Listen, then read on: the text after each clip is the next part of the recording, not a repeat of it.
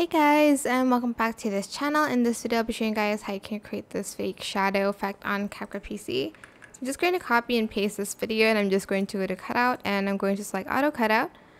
Then I'm just going to rotate it two times and I'm going to mirror that and I'm just going to place the shadow here. Okay, can't really see it if it's there so I'm just going to place it here actually.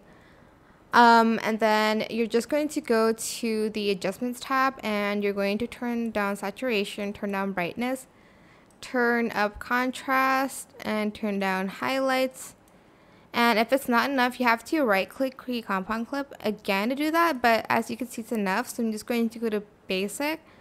Then I'm going to go to the blend mode and I'm just going to adjust the opacity. And now you'll have this really cool fake shadow.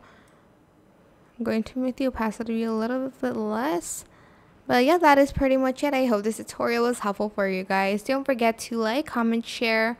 Also subscribe to this channel if you haven't done that already. If you have any more questions, just leave it in the comment section down below. I will try my best to answer them all for you guys. And if you found this video helpful, please click the thanks button above the description box down below. Thank you so much for watching. Bye!